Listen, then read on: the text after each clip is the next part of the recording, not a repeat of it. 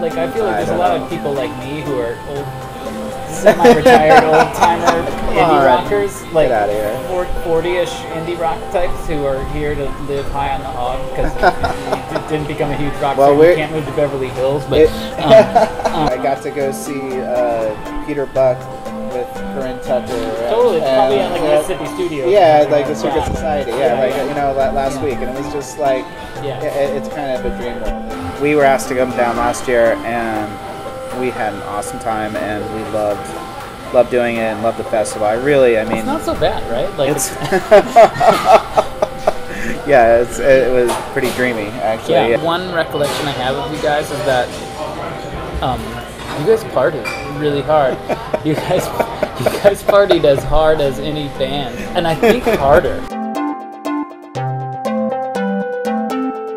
I'm here to talk about sandwiches and wine. yeah, I eat sandwiches and wine together all Absolutely. the time. So I think I've literally eaten everything on the menu.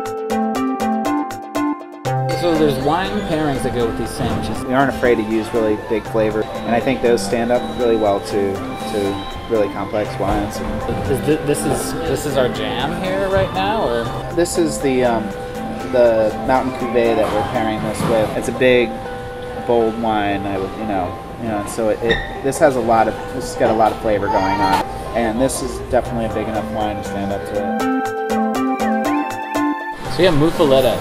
It's a classic New Orleans sandwich. We mostly use Molinari from San Francisco, but there's a smoked ham in it. It's a pit ham smoked in Eastern Oregon. Provolone picante, peppers, olives, carrots, cauliflower. Anything that's a vehicle for uh, meat and uh, Yeah. pickled peppery things is um, Absolutely. I'm, I'm on board with.